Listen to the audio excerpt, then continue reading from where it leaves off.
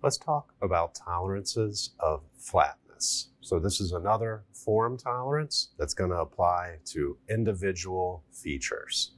A flatness tolerance specifies a tolerance zone defined by two parallel planes within which the surface or derived median plane must lie. So it's going to apply to both surfaces and width features. So width features of size. It's uh, going to be rectangles, squares, you know, rectangular things. So we would use profile for things like arcs and cylinders and other uh, other kinds of shapes. Flatness is just for flat thing. So the first application I want to talk about is the surface application. You'll typically see this more often when we talk about actually applying GD&T, there, there's a reason for this. It's called qualifying datums. So normally your primary datum, if it's a flat planar surface and you're using um, that as your datum A, you'll apply a flatness to it. You'll pick another flat surface to be your datum B. You'll make that perpendicular to your first one. And then if it's a rectangular part, you'll have another perpendicularity to datum C that's perpendicular to this and datum B.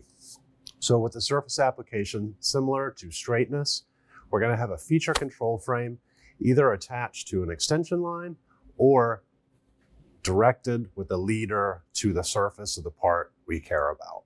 So unlike straightness, it doesn't matter which view it's put in because flatness is a 3D tolerance. It's going to go the full length, depth, and breadth of the part.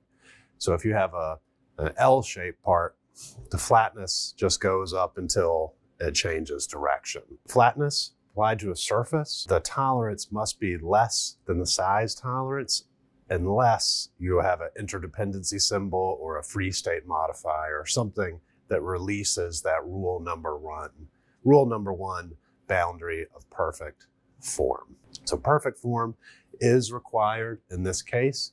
What that means is that if this block comes in at one inch and 20 thou, so 1.02, the flatness can't go over the top of the part, right? So if we measure the part, we come at 1.02, we can't say we have 10 thou of flatness on top of that. That would violate the boundary of perfect form. We could have flatness as long as it, we can have the flatness as long as it comes in under that MMC limit. Another thing is the flatness tolerance will float anywhere in this zone. So say we draw it like this, if we have a situation like this where our size tolerance is much larger than our flatness tolerance, the flatness tolerance can actually float within that size tolerance, right? So as long as this surface comes in between the two parallel planes that are 10 thousandths apart, so this number right here, it can be anywhere within that size tolerance zone. So in this case, we have 40 thou size tolerance. So this could be at the very bottom, it could be at the top, it could be slanted. There could be a, a good bit of variation, but that surface would still be flat. Let's talk about flatness applied to derived median plane. So this is similar to uh, straightness applied to a derived median line, except now we have a 3D feature. We have a, a two parallel planes to contend with. So the way we spot this and know it's a totally different inspection is by looking for the feature control frame. If it's underneath, adjacent to the size dimension, then it's going to apply to that feature of size. So for flatness, it's always going to be a width feature, so a rectangular type part. So it's going to look something like this. The actual tolerance zone will be inside of the part. Now there's two ways to apply it that we're going to talk about. There's RFS and MMC. Now there is a way to apply this at LMC, but I'm not going to talk about it. You don't see it too much, just know it's opposite of the MMC application. If we apply at RFS, it's going to be more difficult to inspect. We can't use any hard gauges. A CMM machine can inspect this just fine. What we're going to get is an outer boundary.